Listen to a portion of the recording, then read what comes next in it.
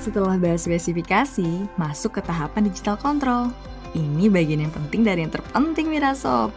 Dalam mengoperasikan mesin, Anda perlu tahu dulu nih bagian-bagian tombol pada digital control.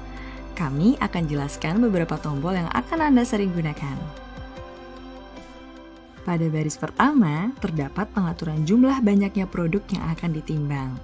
Lalu, pada tombol clear, berfungsi untuk mereset atau mengatur ulang berat timbangan menjadi nol kembali.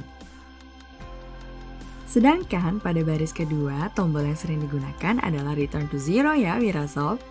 Tombol ini berfungsi untuk mengatur ulang digital counter.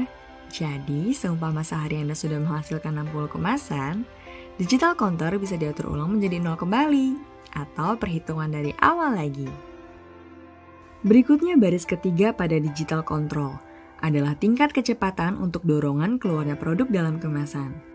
Tingkat kecepatan digunakan dan dibedakan berdasarkan berat yang diatur.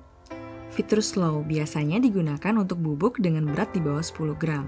Tujuannya agar terjadi getaran berulang dan mempermudah keluarnya bubuk ke dalam kemasan. Begitu juga untuk fitur middle dan fast ya, disesuaikan dengan berat dan jenis produk yang digunakan. Biasanya, kedua fitur tersebut digunakan untuk granul, biji-bijian, atau produk yang tidak padat. Baris digital control terakhir nih, terdapat fitur start dan stop pada satu tombol. Lalu ada discharge. Jika Anda menggunakan dua jenis atau lebih produk yang berbeda, gunakanlah fitur discharge. Tombol discharge berfungsi untuk membersihkan sisa-sisa produk yang masih ada di dalam mesin.